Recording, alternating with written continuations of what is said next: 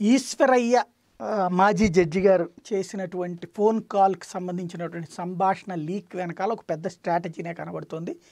దీంట్లో వైసీపీ ఇరుకును పడుతుందా తెలుగుదేశం ఇరుకును పడుతుందా అనేది చూడాలి. దాని వెనకాల ఖచ్చితంగా ఇటు నుంచి వ్యూహమే ఉంది. అటు జస్టిస్ రామకృష్ణ గారు ఫోన్లో మాట్లాడటం ఆ సందర్భంలో సుప్రీంకోర్టు న్యాయమూర్తుల్ని గురించి రాష్ట్ర న్యాయమూర్తుల గురించి కొన్ని తీవ్రమైనటువంటి కామెంట్లు చేయటం.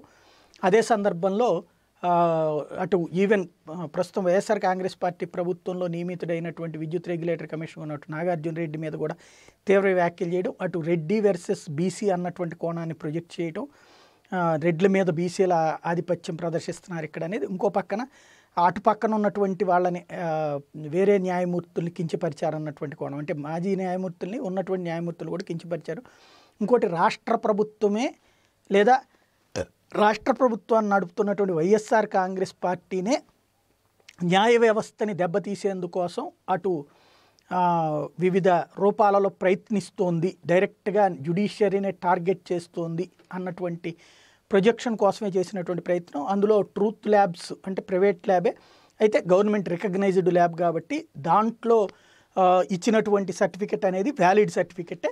దాన్ని ఎవరు చేయించారన్నటువంటిది ఇక్కడ కీలకమైనటువంటిది. అది జ్యుడిషియరీలో ఉన్నటువంటి అధికారులు చేపిస్తే గనక అది ప్రభుత్వంకి ఇరకాటంలోకి వెళ్ళిపోయినట్టు. అలా కాకుండా పార్టీల పరంగా ఏమన్నా చేపిస్తే తెలుగుదేశం చేపిస్తే అది తెలుగుదేశం కావాలని అందులోకి లాగుతున్నట్టు అవుద్ది. ఇటు వైసీపీ అయితే చేయించలేదు. కాబట్టి అంత సీరియస్ సిచ్యువేషన్కి వెళ్ళింది అంటే ఇక సుప్రీంకోర్టు జోక్యం చేసుకుంటుందా? అక్కడ దాని మీద ఎవరికి యాక్షన్ ఉంటుంది? ప్రభుత్వాన్ని ఇక శాశ్వతంగా జ్యుడిషియరీకి ప్రభుత్వానికి మధ్యన చిచ్చు రేగుతుందా లేకపోతే దీంట్లో ఎవరైనా అధికారులు లేదా ఈశ్వరయ్య మీద చర్య తీసుకోమని ఆదేశిస్తారా? లేదంటే కనుక దీని వెనకాల ఉన్నటువంటి మూలాలు ఏమైనా మార్పులు వస్తాయి అనేటువంటిది చూడాల్సింది. ఇది ఆషామాషి వ్యవహారం కాదన్నటువంటిదే ప్రస్తుతం వినబడుతున్నటువంటి మాట.